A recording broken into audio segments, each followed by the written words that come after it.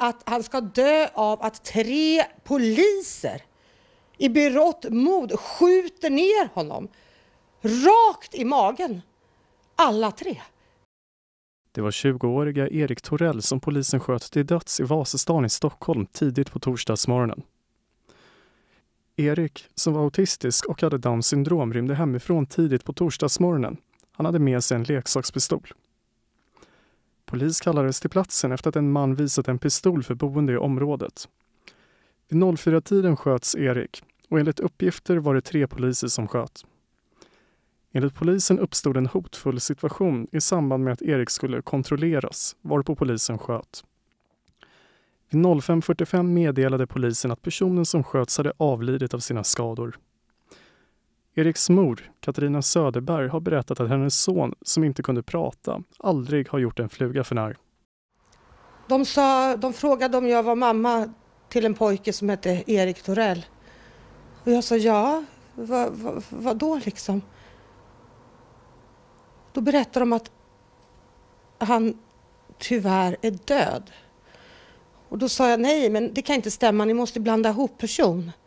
Och vad då? Vad, vad, vad, på, på vilket sätt skulle han ha dött? Vad menar ni? Och då så säger de att han har blivit ihjälskjuten av tre poliser som har skjutit ihjäl honom klockan 04.05 på morgonen ute på gatan. Och de har åkt till Karolinska och hans liv gick inte att rädda. Det är ordagrant vad de sa. Det känns ju som att, att jag vet inte, det, känns, det är så overkligt att tänka att han inte finns längre. Det går inte, det går inte att, att förstå i stort sett. Jag kan absolut fortfarande inte förstå. Jag kan inte förstå. Jag kan bara inte förstå hur det kunde hända. Det, det...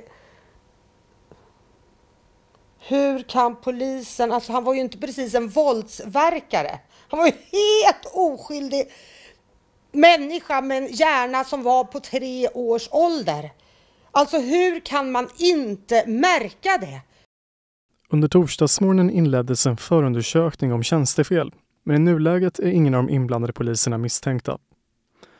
Polisen vill inte kommentera några detaljer kring vad som har hänt. Så här säger Johannes Knutsson, professor i polisforskning, om att tre poliser sköt mot Erik samtidigt.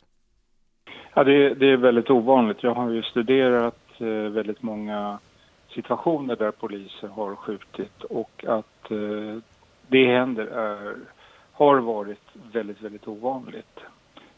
Det vanliga är ju att vi har en ordningspolispatrull bestående av två personer, två poliser och så hamnar de i en akut nödvärnssituation och så skjuter en av poliserna för att försöka klara av den här situationen.